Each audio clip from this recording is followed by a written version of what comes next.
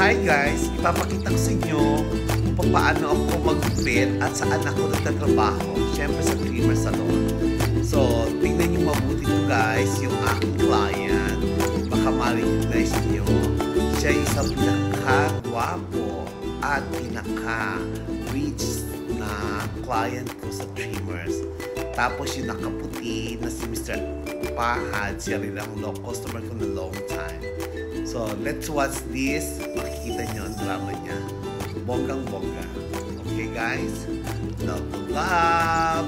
Trimmers Salon. Love your job.